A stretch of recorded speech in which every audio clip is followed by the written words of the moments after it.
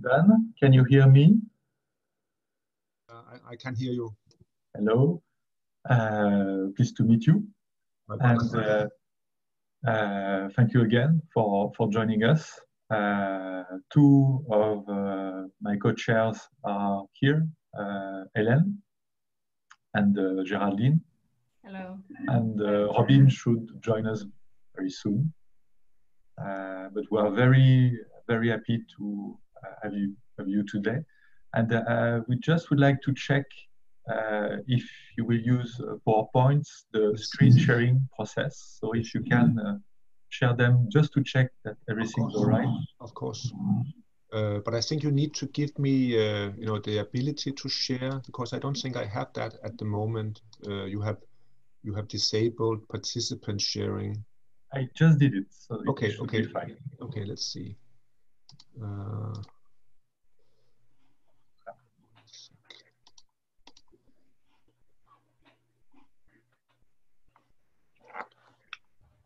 So I think, can you can you see my slides? Yes, this is perfect. Yeah, perfect. Yes. And uh, so what I propose you is that so we'll start right on time at 10. Uh, uh, we are already recorded. Yes, yes. Uh, already, but in the version we will put online, all this phase will be removed. Sure. Uh, but I will uh, say to all participants that if they don't want to appear, uh, they just need to switch off their, their the camera. Sure. Uh, yeah, but uh, everything will be recorded. Sure.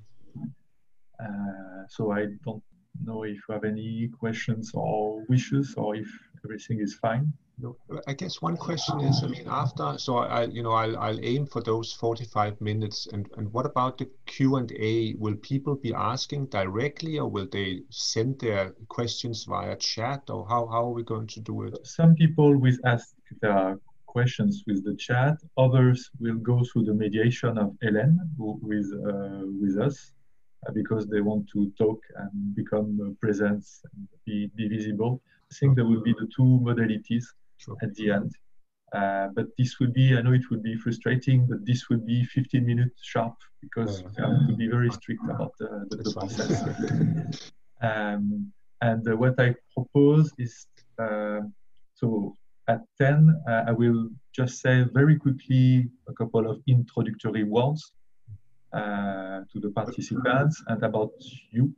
But, but, but, but, but I presume you mean nine rather than 10.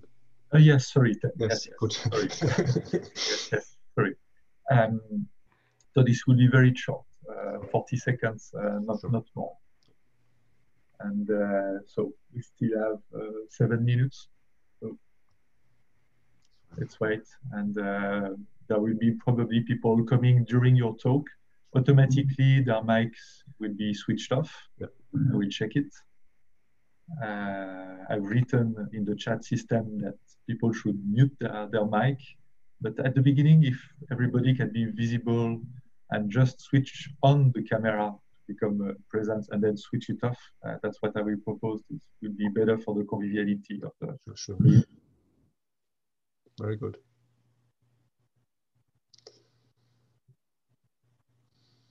And, and, and would you prefer me to, to stop sharing so that you can appear full screen or should I just keep the, uh, the shared screen on? maybe if uh, if it's fine uh, with you, uh, we can activate the sharing just after the introduction. Uh, yes, this would make that uh, everybody will be visible for everybody. Sure, sure. Hello. Many people we know already. Hello, Vendeline. Hello, Aurore. Hello, Michael. Hello, everybody. Welcome.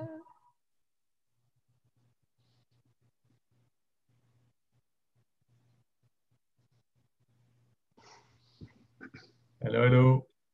So no, no regrets for, for Paris. This is a very gray and, and sad day. So, yeah, no, no regrets. In a way, it's better online.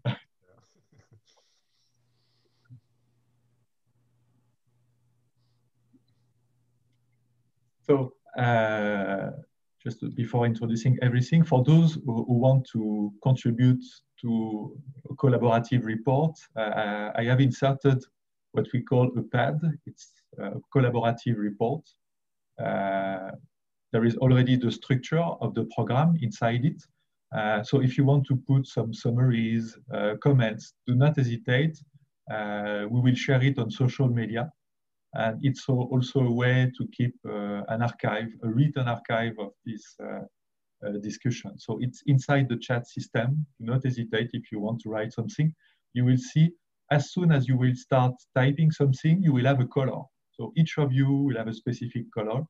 And then you can give a name, your name, your real name, or a fantasy name to this color, or you can remain anonymous. So it's, uh, we hope it will be a beautiful rainbow uh, at the end. Uh, let's see.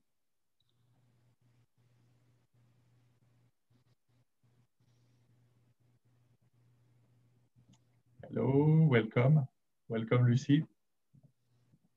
Hello. Welcome, bienvenue. So I just checked uh, the registrations and uh, we have a lot of people from the Scandinavia, okay. uh, in particular from Sweden, uh, who will join us today. Many people from Sweden. Wonderful. So welcome.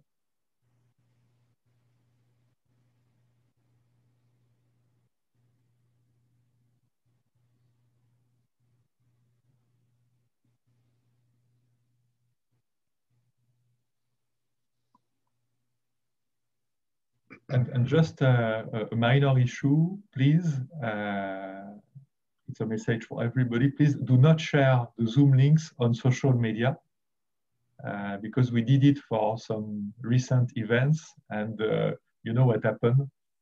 Uh, some strange people suddenly came or boats, Russian boats, uh, doing strange songs and etc. So please, it's not, I, I didn't secure the session there is no code to make it uh, as simple as possible to, to manage. So please not put it on Facebook, the links, uh, please.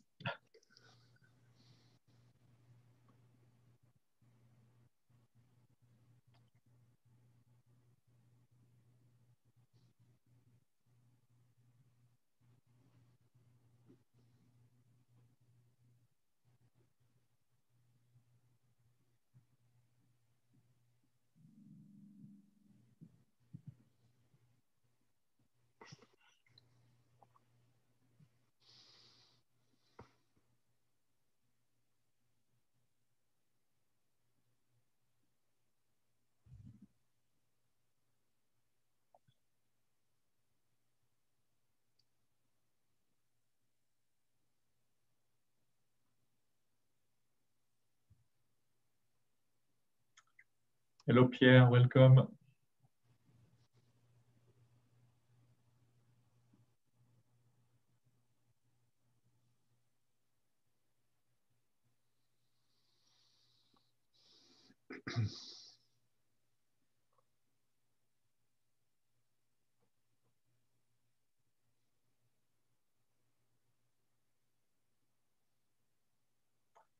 Hello, Gazi. Welcome.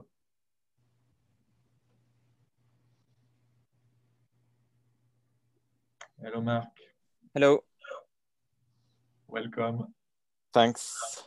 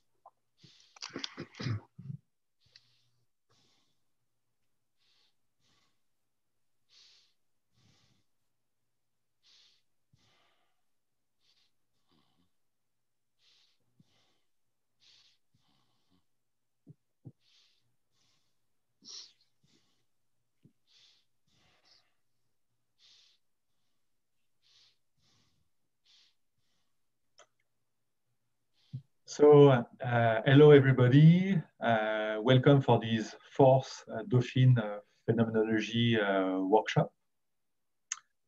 Uh, please, as you know, this event is recorded. So after this short introduction, if you don't want to appear in, on the video, simply switch off your, your camera. this, what I'm saying now will not won't be part of the uh, recording, but uh, very soon it will be recorded in uh, 30 seconds. So please do not activate your camera if you don't want to appear. Uh, so this uh, fourth Dauphine Phenomenology workshop will be about the experience of commons. Uh, you will have great panels, great keynotes, great presentations on these topics. I'm extremely pleased and honored to welcome today Professor Dan Zahavi, who is professor at University of Copenhagen and uh, also at uh, the University of Oxford. Uh, he writes on phenomenology, especially the philosophy of Edmund Husserl and uh, philosophy of mind in his writing. He has dealt extensively with topics such as self, self-consciousness, intersubjectivity, and social cognition. Is the co-editor of the journal Phenomenology and the Cognitive Sciences. Uh, his work has been translated into more than 30 languages. Uh, we all had the opportunity during our last two events to talk about his great book, the great book he co-edited, the Oxford Handbook of the History of Phenomenology, extremely useful uh, and clear uh, handbook. So again, I'm pleased and uh, honored to welcome you and uh, we look forward to listening to your talk. Thank you so much. So let me try to uh, to share my my screen. Uh, and and again, just as a preliminary, I mean, thanks so much for the for the invitation. Um, um, it's a pity that I couldn't be in Paris, but I guess the majority of the other participants are not there either. So we are all kind of joining in on, on Zoom. So what I want to talk about today is uh, intersubjectivity, sociality, community. I just need to get my stream working. So the capacity to uh, engage in collective intentionality and to jointly be directed at objects and goals is a key aspect of human sociality. We can enjoy a sunset, solve a task, we can make plans for the future together, can also share collective identities, responsibilities, traditions, and customs. And over the last few decades, there has been a lot of interest in the issue of collective intentionality from a variety of different disciplines, not just philosophy, but certainly also psychology, economics, neuroscience. And there has been a tendency uh, in all of this empirical work to uh, draw on uh, philosophical work done by a small group of analytic philosophers, including primarily Searle, Bratman, Gilbert, and uh, Tuomela.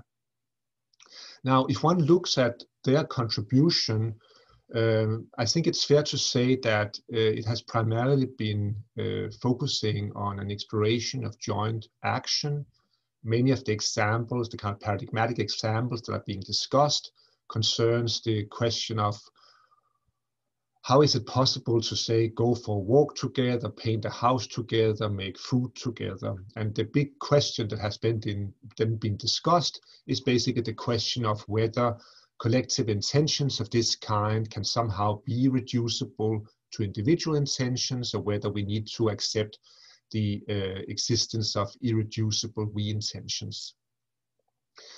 Now, I think Searle uh, plays a certain particular role um, among these figures because he's often praised as the person who really introduced the topic of collective intentionality into the contemporary debate. And It is interesting to compare his early work, Intentionality, to uh, the later work, uh, The Construction of Social Reality, because whereas he in the first a book were really focusing on individual intentionality.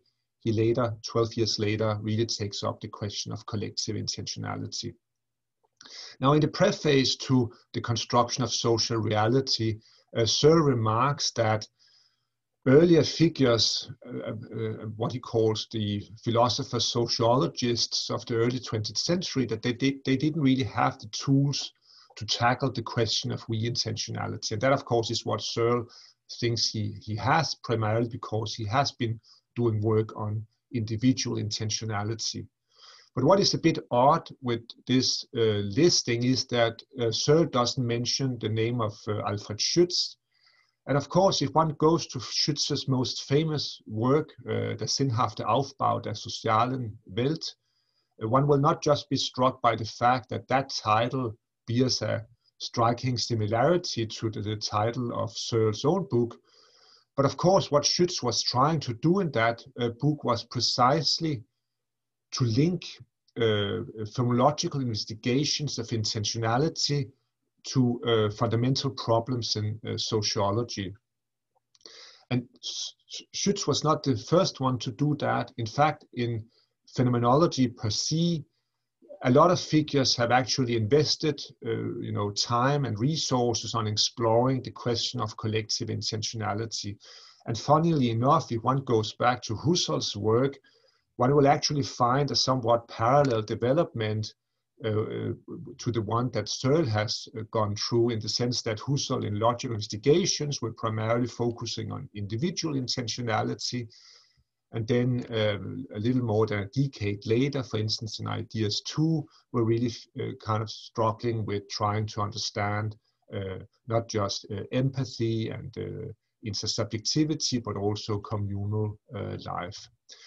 And so what one can see, and this is primarily what I want to spell out in the talk today, what one can see in many of these terminologies is that they start out by having an interest in uh, intentionality, then they move on to investigate the dyadic relationship between, you know, pairs, and then using that as a platform, they proceed to investigate larger group formations and communal experiences.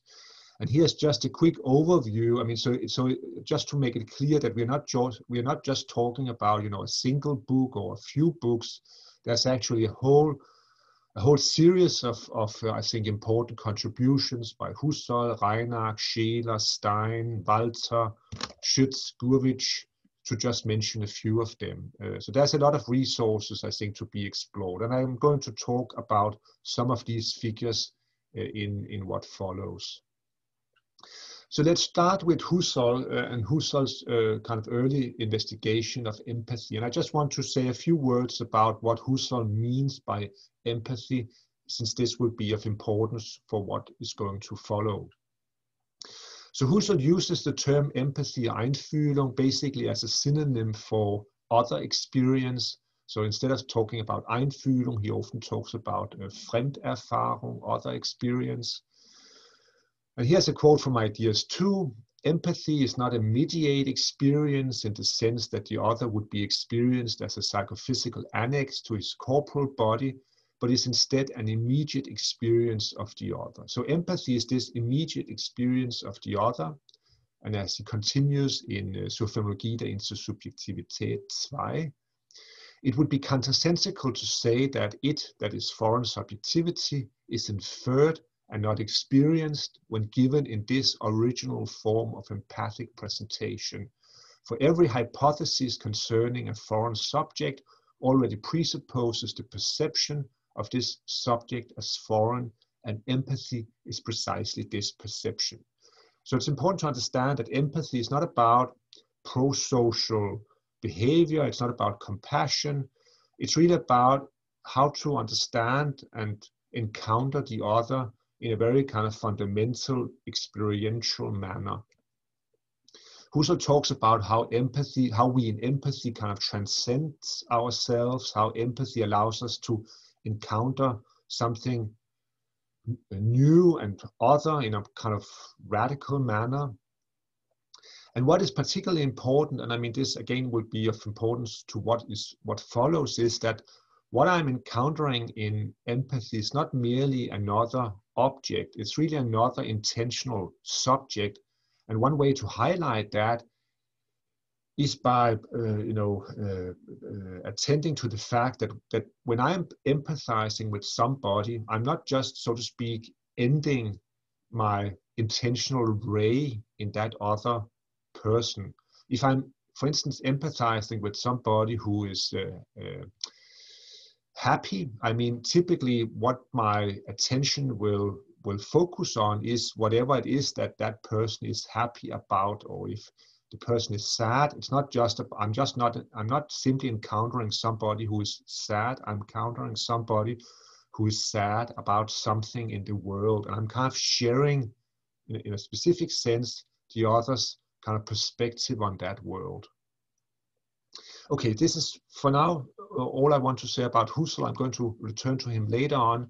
What I want to continue with is to take a quick look at how Scheler is basically taking on some of these uh, ideas and developing them further. What we will find in, uh, in one of Scheler's main works, Wesen und Formen der Sympathie, is basically a differentiation between different forms of emotional uh, relatedness. And so what Uh, Scheler proceeds to do is to distinguish the following phenomenon. First, emotional contagion, German Gefühlsansteckung. Example would be, you know, imagine that you are in a kind of neutral mood, you kind of enter a bar and you're kind of infected by the mood that is present in that crowd. It becomes your own mood. Likewise, this is another example of Scheler. You're walking on the street and you passes a, uh, a funeral procession and you're kind of struck by the kind of solemn mood of, of the crowd. So this is one phenomenon that has to be distinguished from empathy or what uh, Scheler calls fremde Wahrnehmung, the perception of others. So this is a perceptually based understanding of other. Now I am, I'm not just, so in contrast to emotional contagion, where it's about me now having a specific emotion, in empathy, it's about me recognizing the emotional state of the other. That has to be distinguished again from sympathy or Mitgefühl, now I'm not just recognizing that somebody else is in a specific state, I'm also responding emotionally to that. For instance, I mean, if somebody is distressed, I might feel concerned about that person and perhaps be motivated to help the person in question. And finally, uh, there is what uh, Scheler calls uh, Miteinanderfühlen or emotional sharing. So this is the situation where I'm not just having a, an experience of my own, or nor am I simply recognizing that somebody else is having a certain emotion.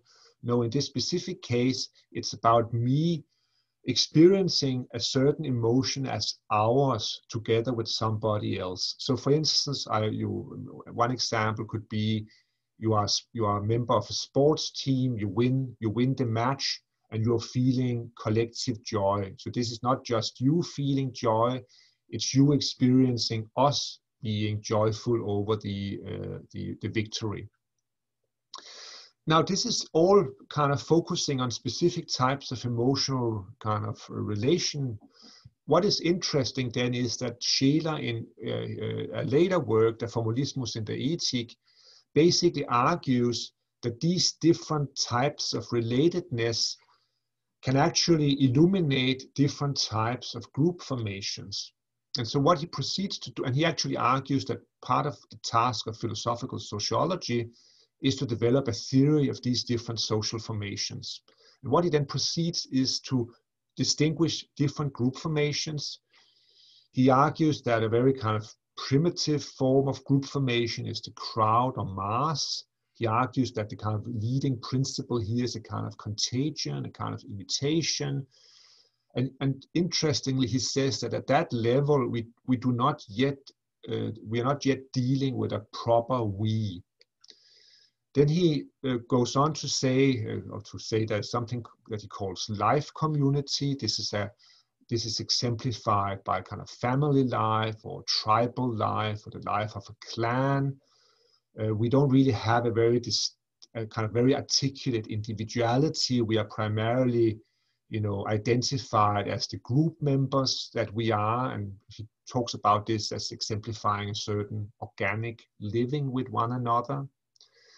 Then he distinguishes what he calls uh, Gesellschaft, society, arguing that this is a form of social formation where we are really employing inferential processes of trying to figure out what others are thinking about or what they are, uh, what kind of preferences they have.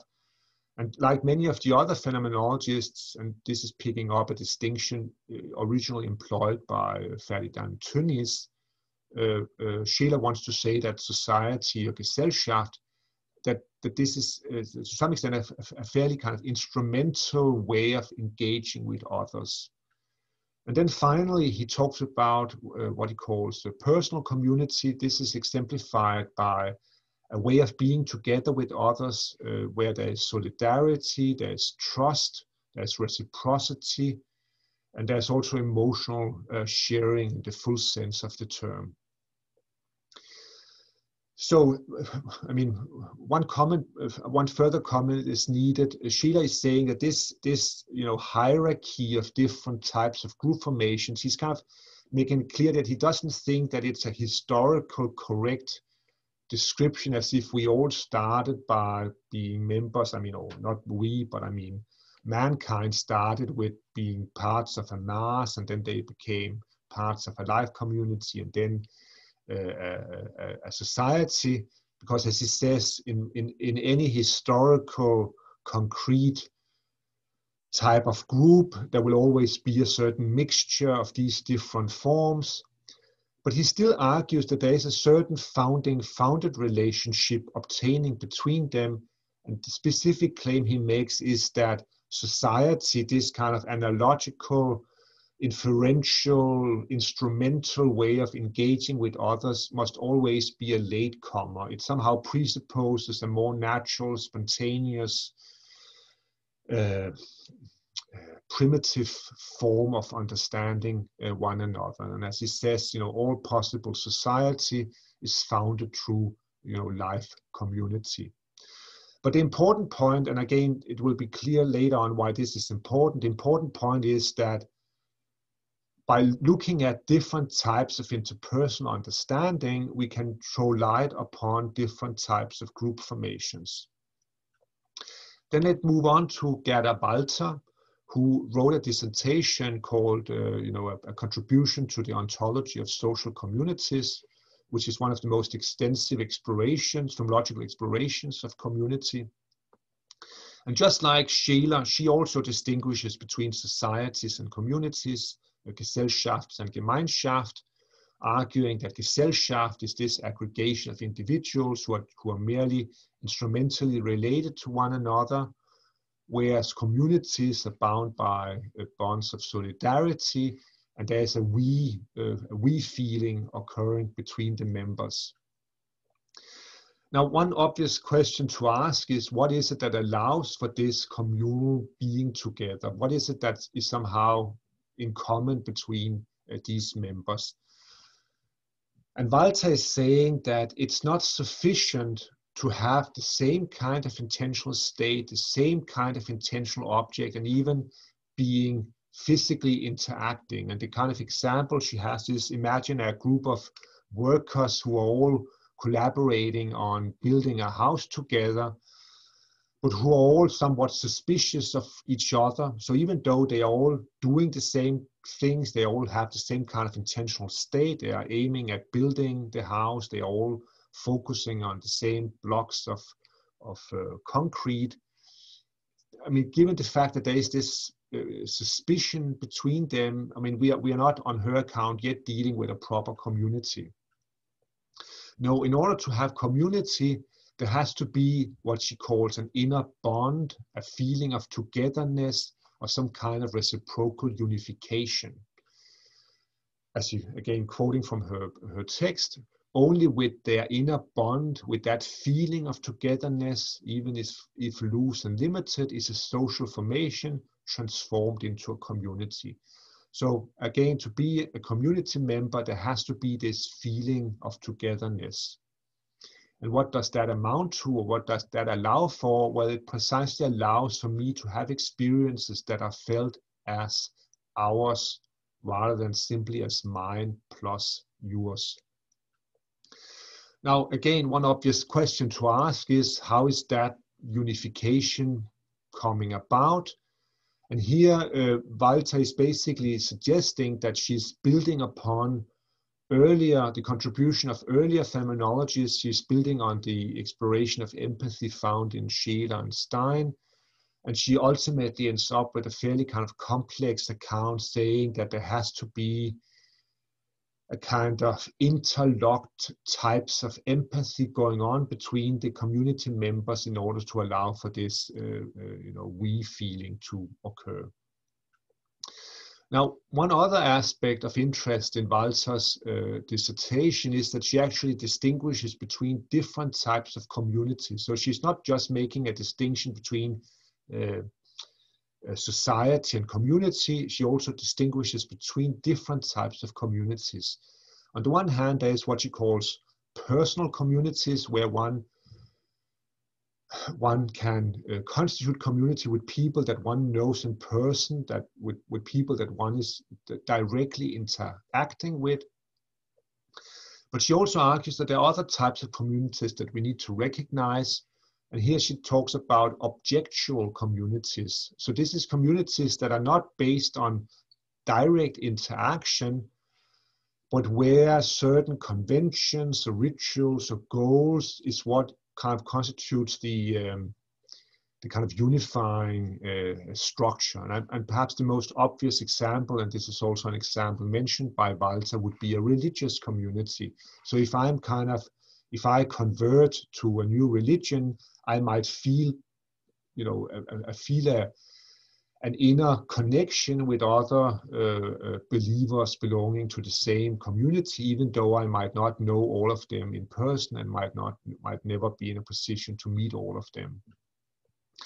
And so what I think we find here is basically a distinction again between a more, uh, you know, a smaller type of community based on direct interaction and a more anonymous form of community uh, that is kind of structured by kind of shared uh, conventions. And I think that to some extent um, uh, maps onto a distinction that Tomasello has recently made between a dyadic form of joint intentionality in the here and now between you know, people that know each other and a kind of larger, more anonymous form of collective intentionality that draws on conventions and norms and institutions. I think the important point here is to realize that there are different forms of communities.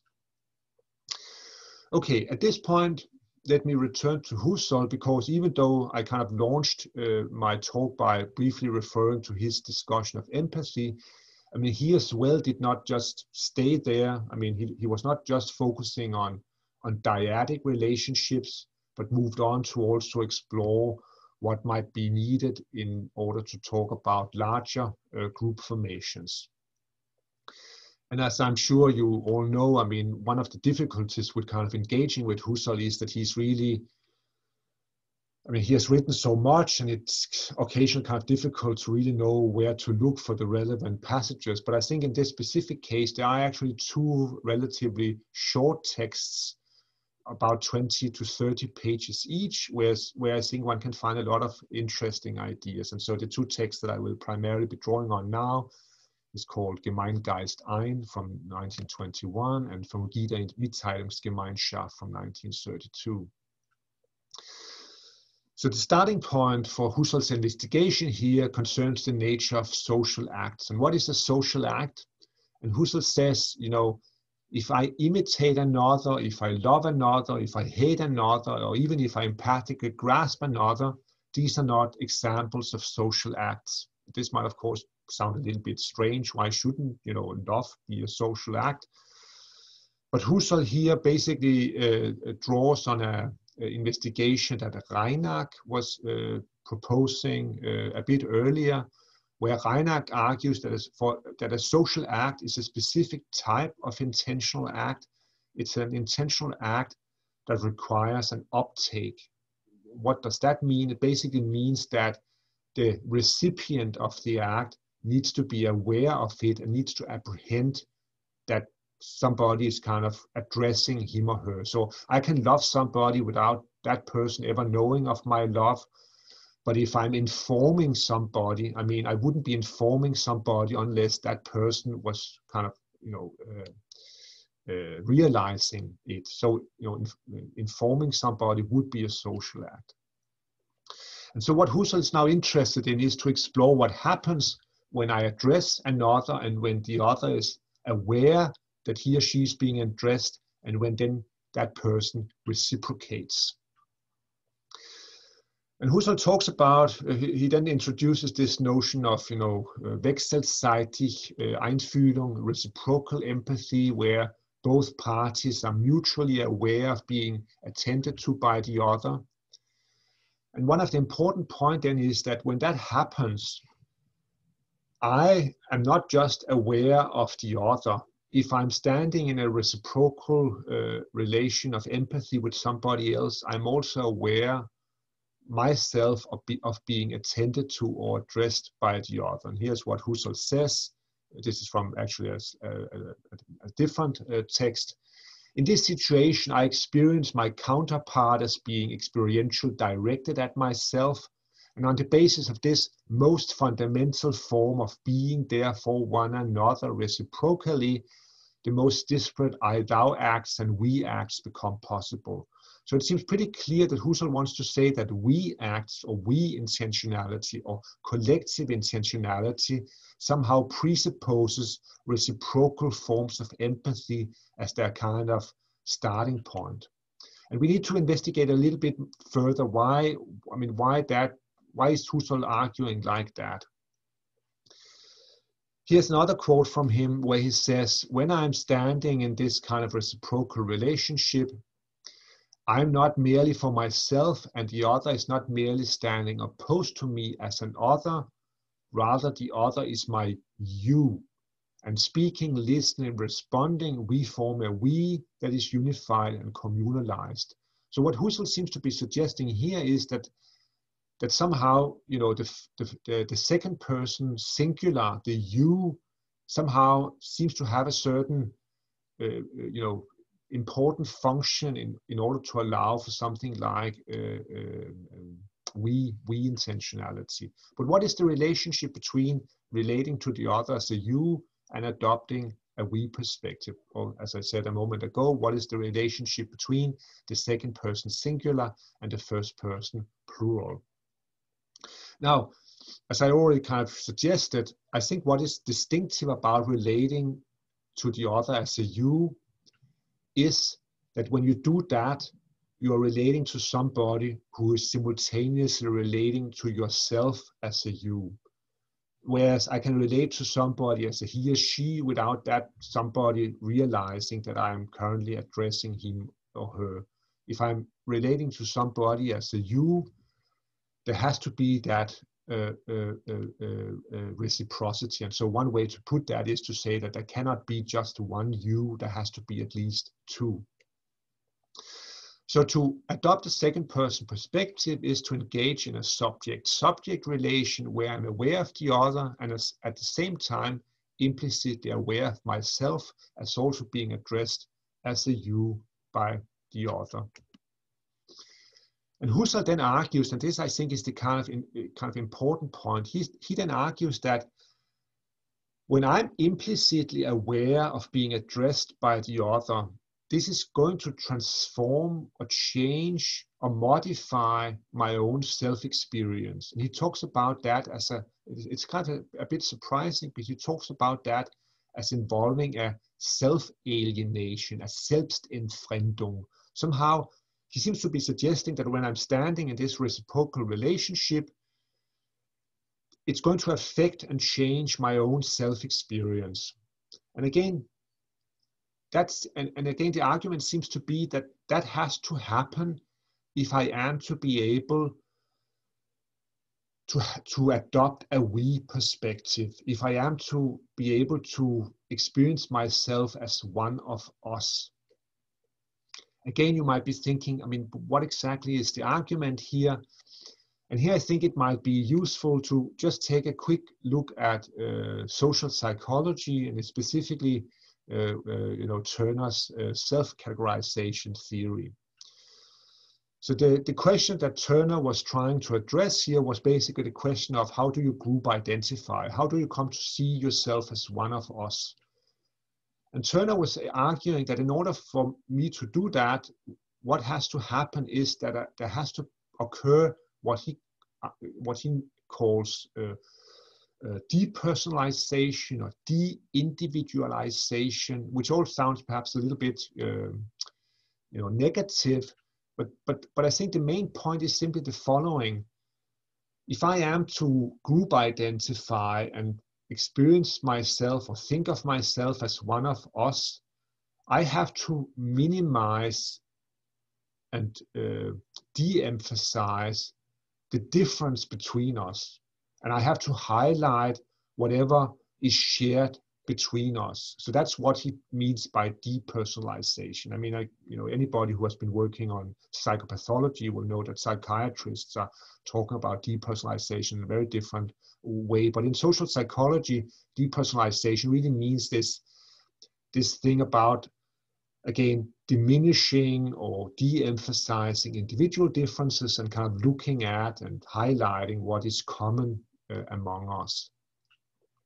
And so I think that the idea here that uh, I think if we kind of keep that insight from social psychology in mind, it might be easier to understand what it is that Husserl is, is kind of uh, going on about. What he basically, I think, is saying is that in order to have a we perspective, in order to experience oneself as part of a we, in order to have, you know, feel and experience not simply as my own, but as ours, what we need here is a certain specific type of relationship to others. It has to be a relationship to others where the difference between us is not eliminated because if the difference between us were eliminated it, it couldn't give rise to a we experience because you know a we is a second is a is a first person plural. So there has to be a preservation of plurality. There has to be difference but the difference cannot be too uh, salient because that would also kind of block my capacity to identify with the other. So, as people, some as it has occasionally been put, the interpersonal differences has to be bridged rather than erased. There has to be difference, but it should not be too salient. And I think the, the, the solution here is that I need to think of myself as being more like others? And how can i come to have that kind of experience? Well i can come to have that kind of experience by incorporating the perspective that others have on me. So rather than experiencing myself as a completely unique uh, uh, you know irreplaceable subject I, I start to experience myself as being like others as also being you know a you like the you that I'm addressing. And I think that's why Husserl would talk about this Selbstentfremdung that occurs as a result of uh, reciprocal empathy. That's why he wants to claim that that plays an important role in order to allow for something like uh, collective intentionality. Okay, just one more thing about Husserl. He actually goes on to say that having this kind of reciprocal relationship is not really sufficient. It's necessary, but it's not sufficient because there's also another requirement that has to be in place, and that's the second personal address. And so here's a quote from, from the 1932 article. What is still missing? I mean, if, if one simply has reciprocal empathy, what is still missing is the intention and will to intimate, the specific act of communication, the community creating act that in Latin is simply called communicatio. So I think the point that Husserl is making is the following. I mean, we, we might imagine a limit situation where I'm simply standing looking into the eye of the other and vice versa, but we're not expressing anything. We're just standing there looking into each other's eyes.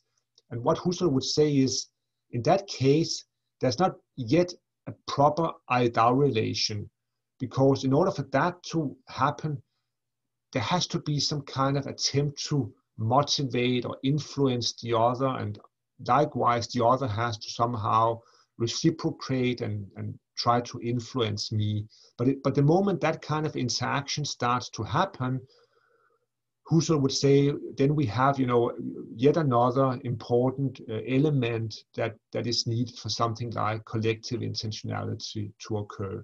So actually, you know, dialogue, communication is also for Husserl absolutely crucial for something like, uh, you know, the, the constitution of a, of a community.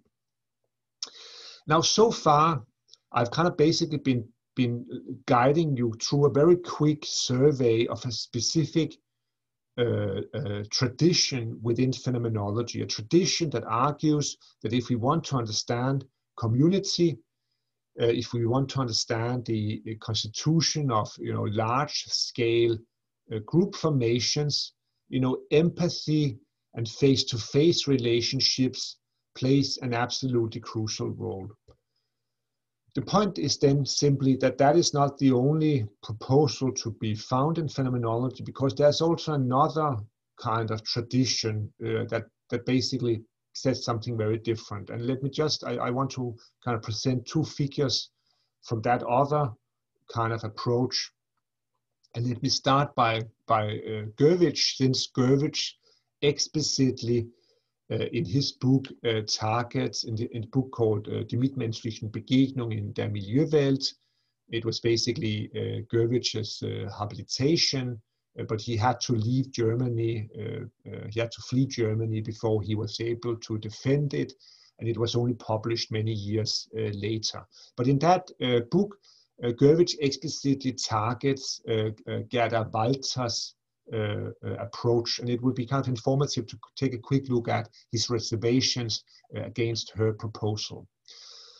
So Gurwitsch also kind of takes up this distinction between society and uh, community. He, talks about you know partnership versus uh, uh, know, communal membership, and says partnership is this kind of instrumental, strategic, you know, way of engaging with others, and that has to be contrasted to you know community where there is a certain warmth and mutuality and solidarity.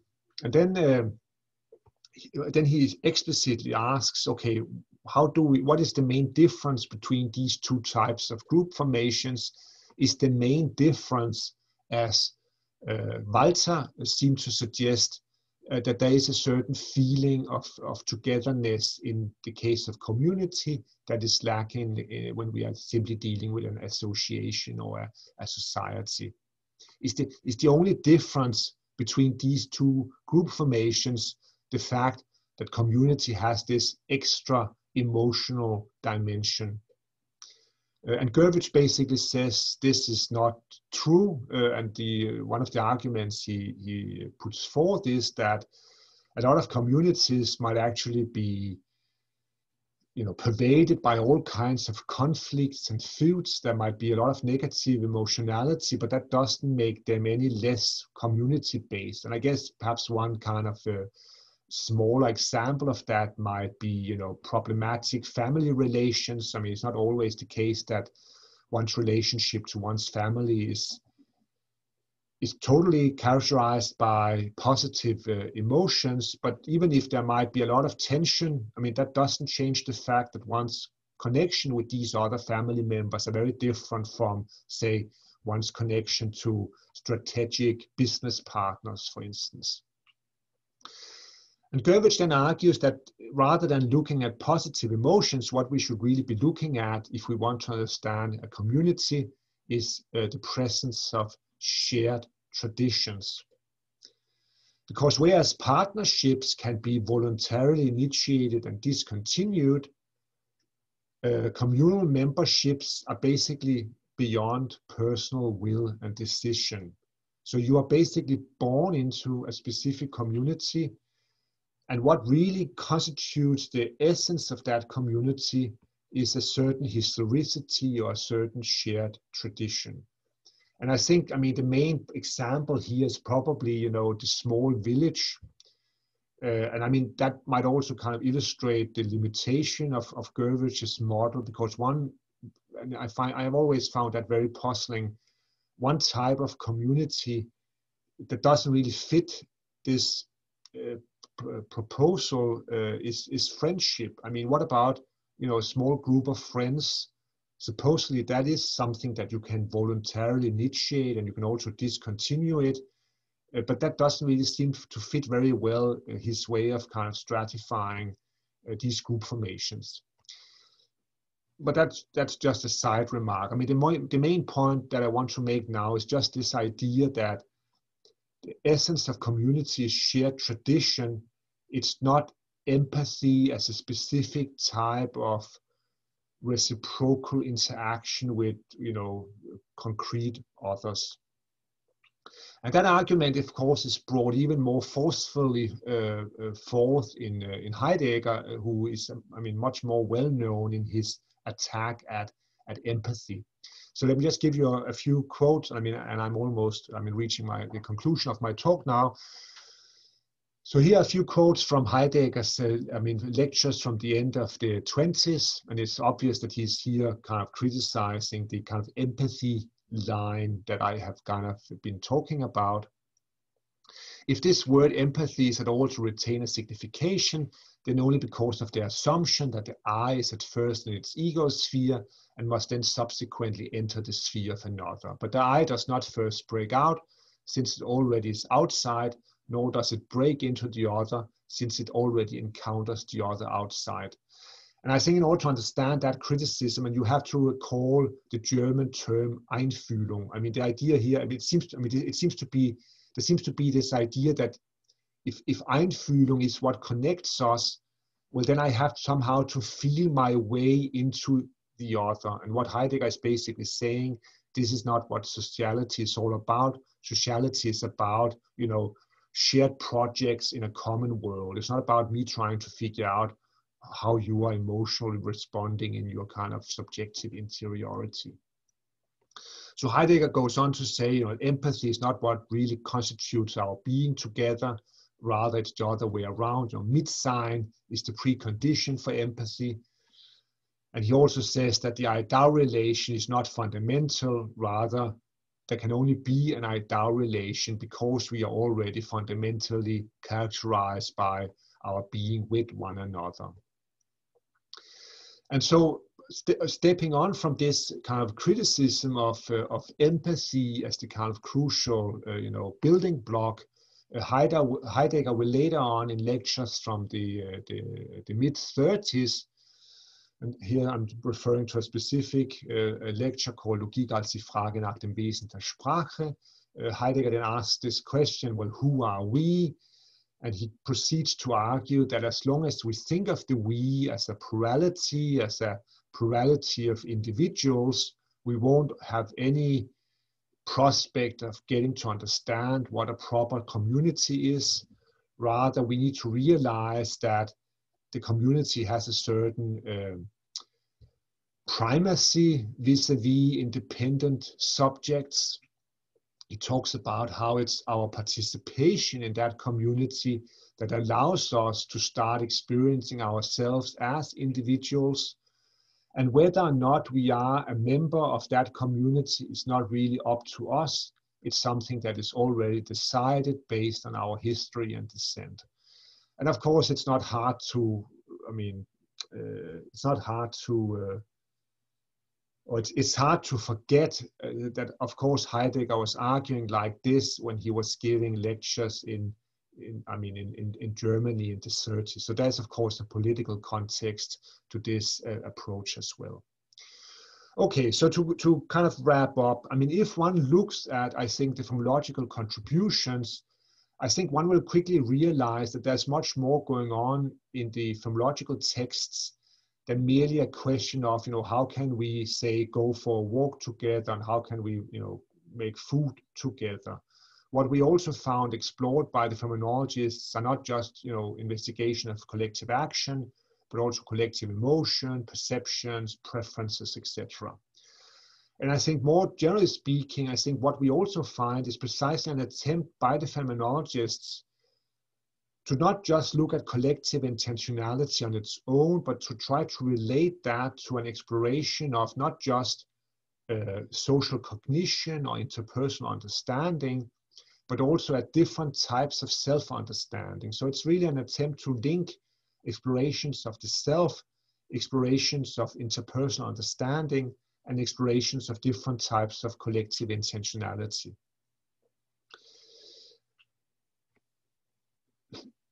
And the main point then is really again to just you know make it clear to you that there is a very important tension to be found within phenomenology because there is a clear disagreement about what constitutes you know the foundations of sociality is it the face-to-face encounter the i-thou relation the you know intercorporeity is it that kind of relation or is there you know a more basic and this would be Heidegger's take, I think, a priori ontological sense of we-ness. I mean, what has priority here? Another way of putting it is to use uh, Sartre's terms. Is it, you know, being for or being with that is most fundamental? And um, of course, Sartre would say it's, it's being for. And actually, Sartre, I mean, you know, because because because I, I mean, I've kind of been basically been presenting you with, you know, first empathy theorists, and then we have Gurwitsch and Heidegger in the 30s starting to criticize that approach. But of course, it didn't end there because if we then move on to the 40s, Sartre will again start criticizing Heidegger, arguing that he's missing out on what really is important for a proper understanding of intersubjectivity, namely the encounter with radical otherness. And of course, later on, Levinas would equally start criticizing Heidegger, again arguing that Heidegger's approach doesn't really do justice to uh, the, uh, uh, the otherness of, of the other. And I mean, that discussion concerning what has primacy, being for or being with, is a discussion that is still ongoing uh, among uh, phenomenologists. And then what could one conclude? I mean, it's not obvious, I think, that one should accept what Searle at one point argued, namely that the phenomenologists do not have much to contribute to the topics of the logical structure of intentionality or the logical structure of social and institutional reality. I think when he made that verdict, I think he was just displaying his own ignorance about that whole uh, tradition. So thank you very much for your attention.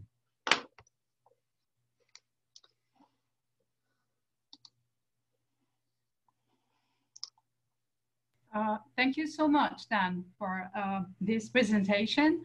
I have lots of questions, but I'm sure many other people do as well. Uh, who would like to start?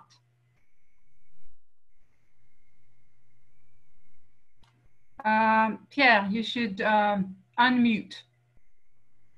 Open your mic. Yes, uh, thank you very much. Fantastic. And we will speak about that for long, I imagine, now in the morning. Uh, just a, a, quick remark. Someone who's been um, uh, been uh, given certain attention recently, uh, maybe because he's still alive and, and kicking, uh, is Hermann Schmitz. What mm-hmm. your reactions to to Hermann Schmitz's um, atmospheric take on this? Yeah, well, um, you know, um, I mean, I mean Hermann Schmitz, of course. I mean, you know, he's the proponent of the the new phenomenology. And I mean, sometimes one were wondering what exactly is new phenomenology. And I think it's primarily Hermann Schmitz that's new. and, and then all his disciples as followers. I mean, so I guess, um, I mean, um, I mean, there has, of course, been this, you know, a, a lot of people are talking about atmospheres.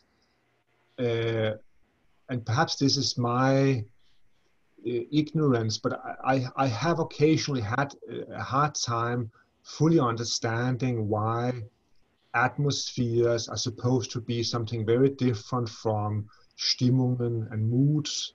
Why, I mean, why do we really need yet another fundamental category? And I mean, it might be my lack of familiarity with the more specific arguments, but I, have just had a, a, bit of a hard time uh, fully understanding it. Um, uh, and yeah, I mean, you know,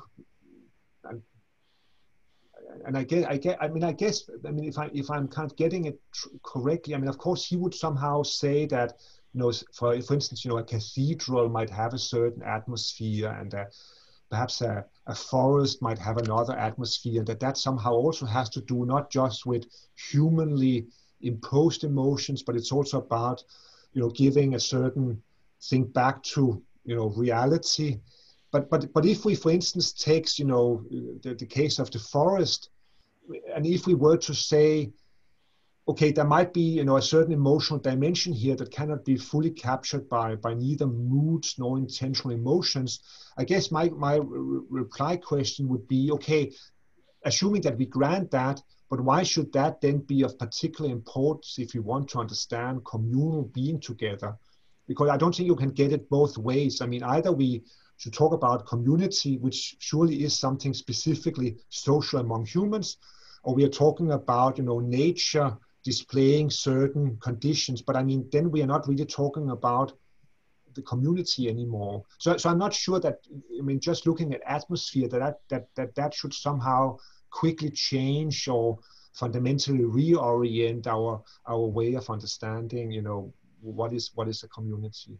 I, I hope that somehow, I, I, don't think I can say much more than that. He's, he's very focused on the architectural and the artificial and, and, and things like that. Maybe he's a shortcut to phenomenology. Maybe he's a dead end. I don't know. Yeah, well, well I guess the important question will be how much Neue Phänomenologie there will be when, when he's no longer among us, uh, you know.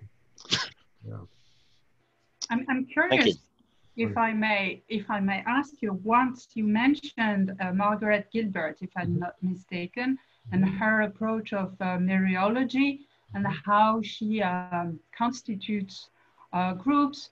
First, I think uh, very truly you insisted on the problem of always using a dyadic um, model initially uh, to describe a, a group of mereology because a group is quite, in its essence, different from two people. Mm -hmm. And I wondered um, if you think it it's not, in a sense, in the model she uses, she says first you can walk together, have a walk together, then um, commitments become stronger. They may, may, they help you achieve bigger goals. So how do you think you could, like phenomenology could help us represent these complex goals for larger groups than two in an yeah. efficient way? Yeah yeah. But yeah but i guess i mean um, uh, so I, so I, I have worked on on Gilbert, but I think my uh, initial uh, take on her would would would, would not because, because I guess one question to ask would be if we're talking about kind of more institutionalized forms of community, to what extent can her account really, which which really seems to to take its point of departure and something very kind of you know pedestrian like going for a walk to what extent can that really illuminate those larger formations? And of course i think she would want to make that claim but but i think my phenomenological uh, take would be um, would rather be looking at what might go on not above her example but rather beneath it because because for her, in order to have that kind of commitment that for her is crucial in order to allow for collective intentionality, there has to be, you know, normativity, there has to be, to be commitment, there has to be a certain understanding of, of beliefs, which are all fairly cognitively complicated uh, uh, uh, uh, kind of elements. And I mean, one obvious question to ask is, you know, what about what developmental psychology is teaching us? I mean, what about more primitive forms of affective being with one another? And does that emotional sharing, which doesn't really, I mean, Gilbert does try to address it, but I think in a very strange way, what about emotional, you know, uh, sharing, which, as I also said, you know, Scheler is specifically talking about. Is that not an element that has somehow to be given a bigger role in, in, in, in an account?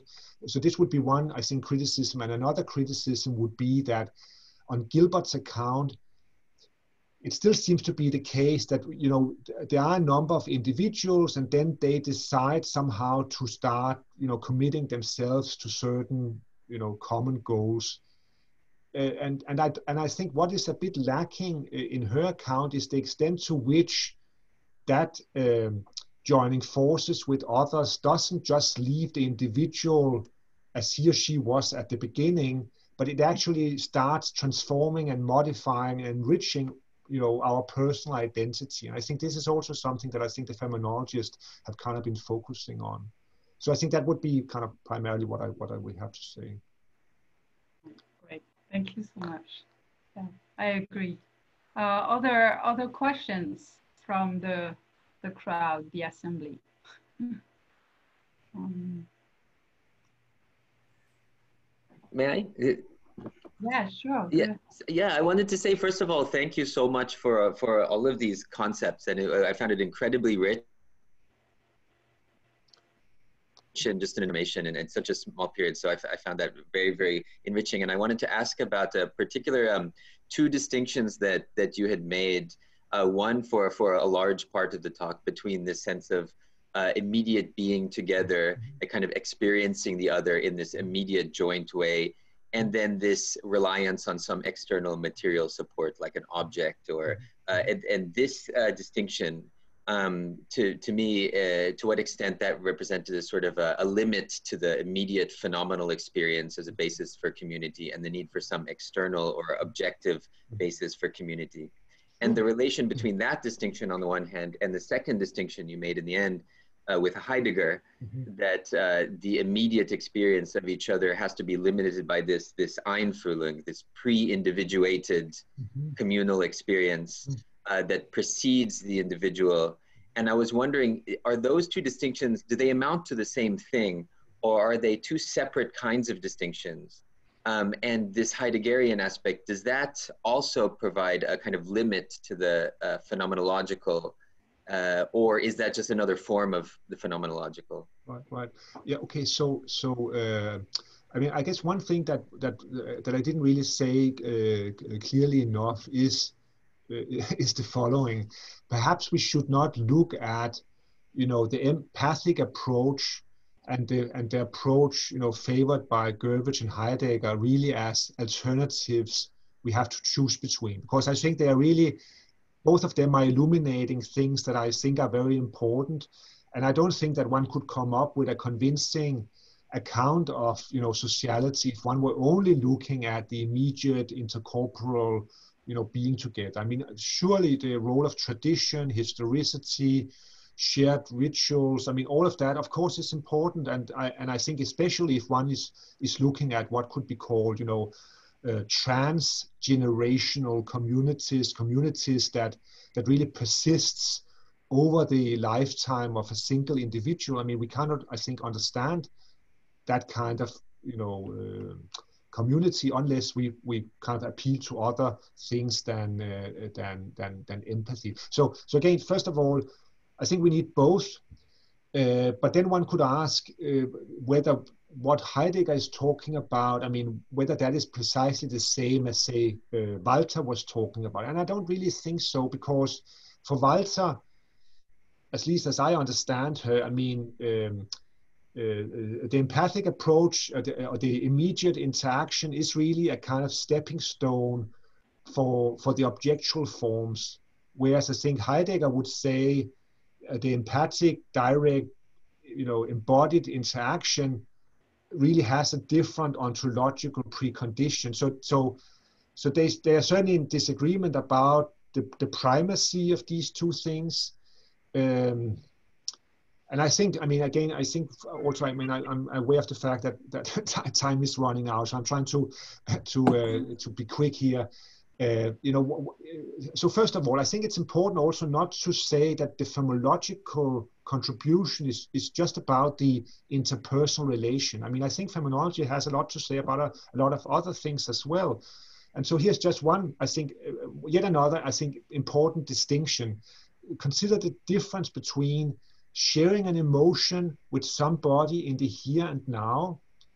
I mean, that's one kind of collective phenomenon which I think is very different from, say, me being uh, upset uh, because of my group membership. So let's assume that I'm I've just converted to a new religion. Then I read in the newspaper that other members of that religion has been persecuted somewhere else in the world, and this gives rise to distress in me, a distress that I wouldn't have felt were it not for the fact that I'm identifying as a group member. this is also a kind of collective phenomenon, but I think it's a very different one than the one that takes place, you know, synch synchronous with another person that I'm kind of in I mean bodily interacting with. So again, there's a lot of distinctions that we need somehow to to factor into to our account. Thank you so much, Dan, and thank you everyone for a fascinating discussion. And I hope we go back with the cases we're about to present on these dimensions and maybe learn a little bit about about it. And uh, thank you again. Um, we, thank you. Uh, yeah. Thank you. Thank you for being here. Thank you. Uh, well, I, uh, I, um, if uh, for the people who are here, yes, for the people here, um, if you want to uh, follow the workshops, you have to follow a different link, right, Francois? Could you tell us how it works? Yes, yes.